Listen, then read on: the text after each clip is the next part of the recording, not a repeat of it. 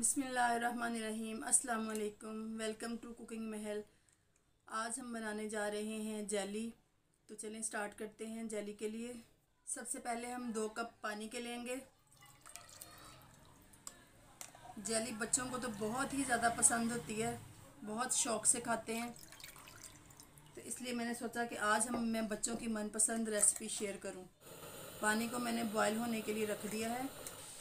पानी को देखिए बॉयल आना शुरू हो गया है पानी में।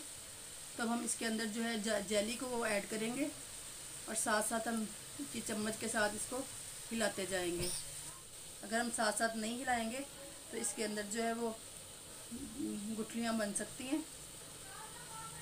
तो इसको हमने साथ साथ हिलाना है।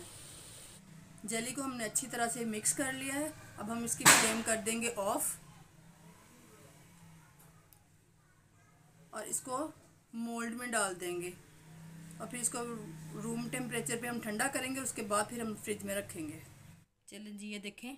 आप अपनी मर्ज़ी का जिस मर्ज़ी बर्तन में डाल सकते हैं जिस तरह की शेप आप चाहते हैं वैसी बन जाएगी। ये मैंने इसके अंदर इसको डाल दिया है। इसको पहले हमने रूम में ठंडा होने के लिए रखना है। उसके बाद फिर हमने इसको ना फ्रिज में रखना है ताकि ये अच्छे तरीके से फ्रीज़ हो जाए। जेली को मैंने फ्रिज से निकाल लिए। देखें बिल्कुल ये जम चुकी है। ये हम इसको कट कर लेंगे। जितने साइज़ के पीसेस आपको चाहिए हों, उतने साइज़ के पीसेस बना लें। आप इसको कस्टर्ड में यूज़ कर सकते हैं, किसी भी शरबत में यूज़ कर सकते हैं, किसी भी मीठे में। तो जैसे आप पसंद करें। ये देखें फ़ाइनल लुक जेली की तैयार हो गई है। बहुत ही खूबसूरत और मज़ेदार। आप इसको जाम में भी यूज़ कर सकते हैं।